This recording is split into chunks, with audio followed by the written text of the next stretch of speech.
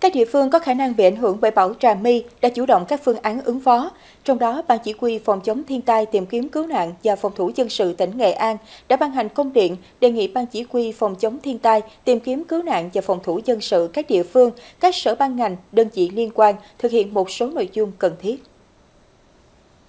Cụ thể, cần theo dõi chặt chẽ diễn biến của bão, thông báo cho thuyền trưởng, chủ các phương tiện tàu thuyền đang hoạt động trên biển biết để chủ động phòng tránh và có kế hoạch sản xuất phù hợp. Ra soát sẵn sàng phương án để ứng phó với mưa lớn gây ngập lụt, sạt lở đất, lũ quét, chủ động di dời, sơ tán dân ở khu vực nguy hiểm đến nơi an toàn.